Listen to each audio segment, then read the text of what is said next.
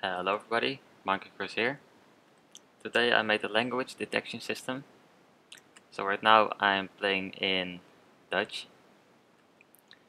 So if I press this button, it says, it looks like you are playing in Netherlands. Would you like to play this map in Netherlands? And you can choose either yes or no. So let me click yes. And it says taal bijgewerkt naar Nederlands.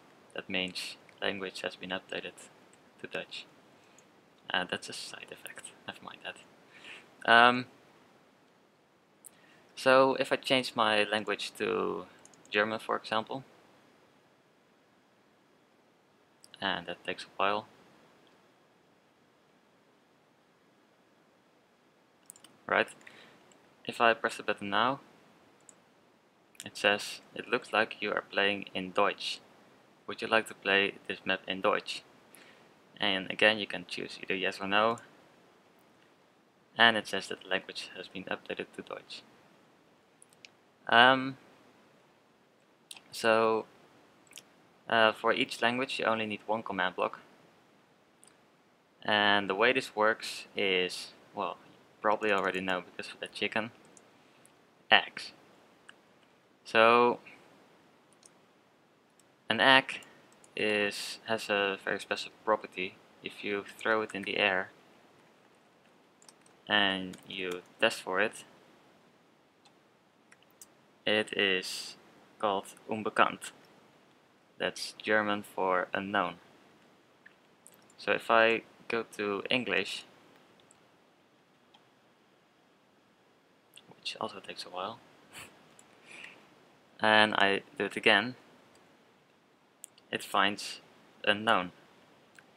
So what I'm doing is I'm executing uh, a tellraw command uh, on an entity with uh, the name unknown, but then for each language it's, it's different.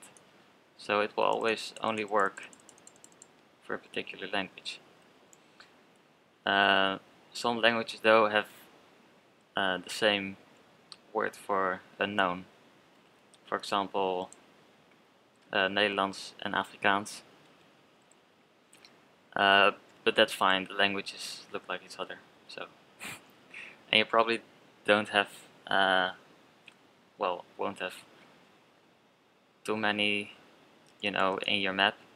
Because what you can use this for is, if you have an adventure map, and players log in for the first time, you can say, oh, it looks like you are Portuguese. Oh, I think I misspelled it, by the way. Not, not sure.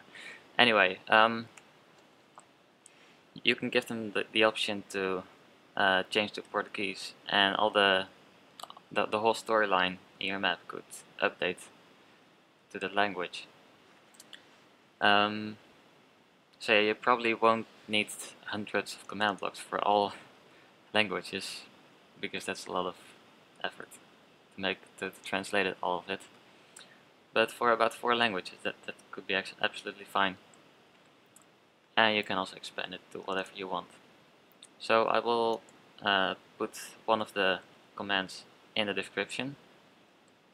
Uh, by the way, you can, uh, right now if you click yes, it only says that the language has been updated. If you want an actual output, you can change uh, this part here to a set block command and you can set the redstone block to next to another command block and it will do something.